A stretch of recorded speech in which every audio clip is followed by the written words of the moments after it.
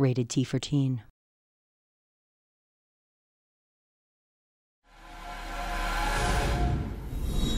Lara?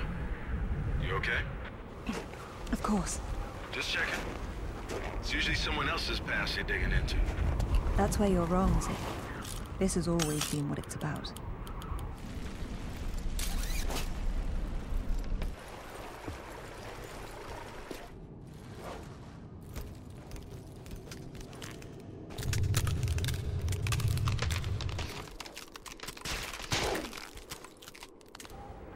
Sure you're in the right spot?